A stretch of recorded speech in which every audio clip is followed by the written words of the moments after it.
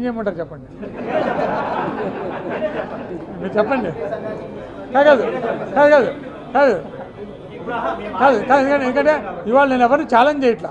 ఎందుకంటే ఆ రోజు అంటే నేను బలంగానే పోరాడాను దానికోసం ఇవాళ నేను ఏది ఈ రిజల్ట్ కోసం నేను నా పోరాటం కాదు రిజల్ట్ పోరాటం వేరే వాళ్ళది అంచనా నాది మాత్రమే. పోరాటం నాది కాదు.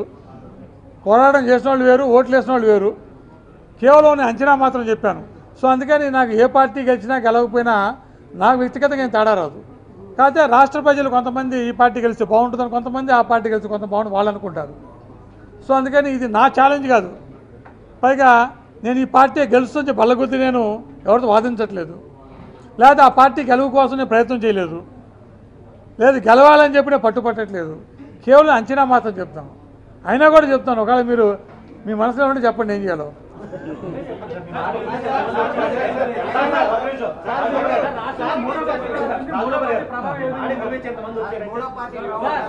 అదా. అదే నేను అన్నారు చూడు నా మాట ఇది అక్కడ తెలంగాణ ఎన్నికల్లో ఫలితం పోయినా కూడా నా మాట కోసం ఇంతమంది ఇంకా విశ్వసిస్తున్నారంటే సంతోషిస్తున్నాను. మీకు ధన్యవాదాలు తెలియజేస్తాను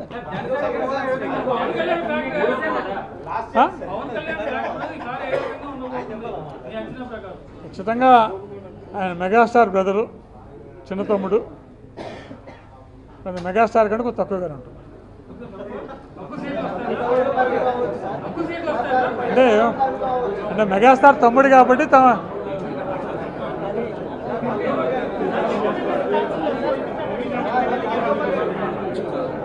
కానీ కానీ కానీ కానీ ఒకటి ఒకటి చెప్తాను.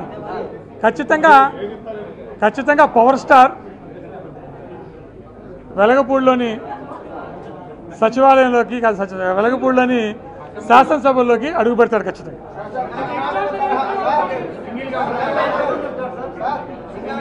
మీరు అడిగారు కాబట్టి పవర్ స్టార్ ఎందుకంటే ఇక్కడున్న వెలగపూడు మందడం మల్కాపురం ప్రజల సమక్షంలో చెప్తున్నాను.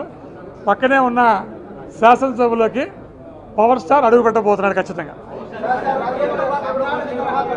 సో ఎవరికి ఎన్ని సీట్లు అనేది రేపు చెప్తాను.